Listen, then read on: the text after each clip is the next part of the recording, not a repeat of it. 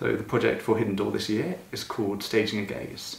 It is a dual channel 35mm slide projection which has the two um, carousel projectors that are linked together and play in total 162 slides.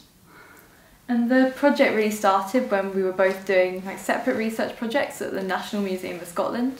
Um, we were writing a paper for the Emerging Perspectives Conference run by the Association for Art History and um, our idea was that we were going to think about this like the museum as being locked in the cabinet of curiosities and think about curation, power and identity.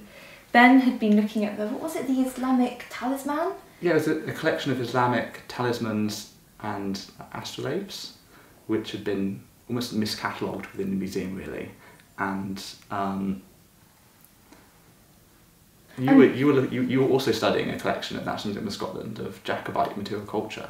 Exactly that, and I was particularly interested in feminist practices of curation and maybe like dissolving the museum into a more social space. And or even just sharing different approaches to interacting with objects. And so we were both in NMS a lot together, and we thought, hang on a minute, we're both sculptors, we're based at Edinburgh Sculpture Workshop, maybe we should look at their sculpture gallery upstairs. That seems important for us to do.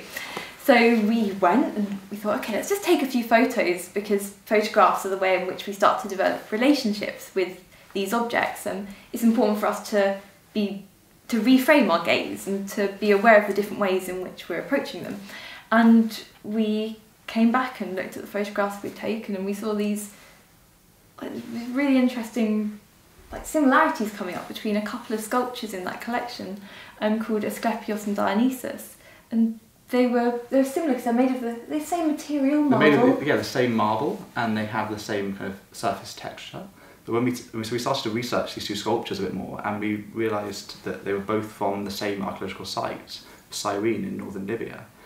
And um, we start, this kind of made us wonder how did they end up here, and is there more of a kind of story linking these two statues?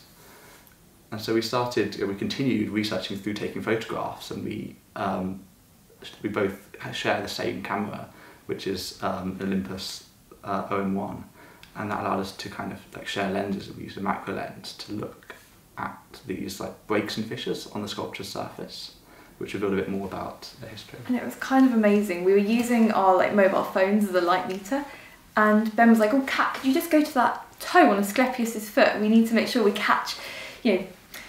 catch this just at the right angle and the contrast is right in the photograph. Yeah, yeah, okay. I put my phone in front of it and on the light meter, this like text started to emerge on the sculpture that we couldn't see with our own eyes, and it was the accession number like etched into the skin of the stone, and it it was so fascinating for us because we realised that actually bringing digital technology into this work as well and thinking about the many different lenses that shape the politics of our gaze in this museum setting could perhaps help us to unlock new relationships or narratives around and with these sculptures.